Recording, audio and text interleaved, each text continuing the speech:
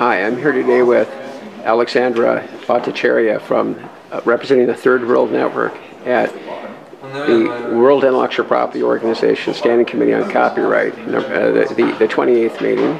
It's July 3rd. Can you tell me what's been going on this week?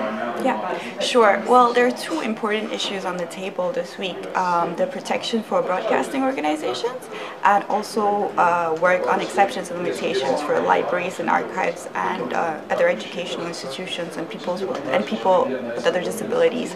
So these are very two uh, different issues, but uh, there's normative work going on in both these areas.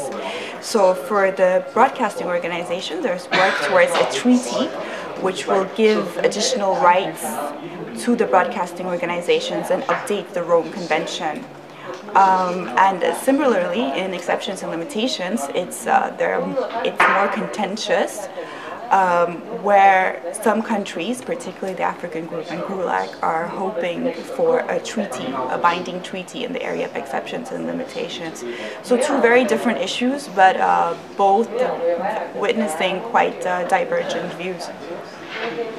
How would you how would you describe the position of the European Union on the issues of on the one hand, the broadcasters, the people that own television stations, mm-hmm. and on the other hand, uh, libraries as, as, institutions. Right, the very uh, different views. So, on one hand, for broadcasting, they're very eager to have a binding treaty in this area, but in the area of exceptions and limitations, all they really want to do is uh, discuss principles and objectives and share experiences, and their their current um, well, their current position is that currently the copyright exception limitations in national legislation are sufficient and there is no need for a binding, binding instrument. However, on the broadcasting treaty, they're obviously not following their same uh, principle, and whereas they're saying that national legislation, national framework is not sufficient. So, uh, completely different views on two very important, well, on two different issues, yeah. From the point of view of a UN agency, mm-hmm.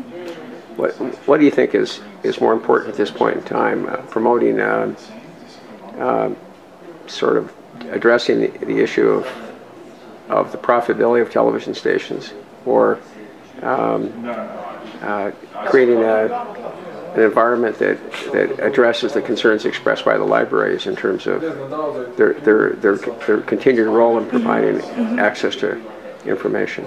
Right. Well, WIPO is a UN agency, and it is uh, it, it, it, it is under the UN Convention. So it should follow it should follow sort of development oriented principles and of course exceptions and limitations and the promotion of education and access to knowledge is what a binding treaty for exceptions and limitations would do. So in terms of if you in terms of following their priorities this is what the emphasis should be. But again it's all up to member states and it's really hoping the member states understand the importance of having a binding treaty for exceptions and limitations Thank you. Is there any, anything you'd like to add before I turn the camera off? Uh, no, that's okay. Thank you very much.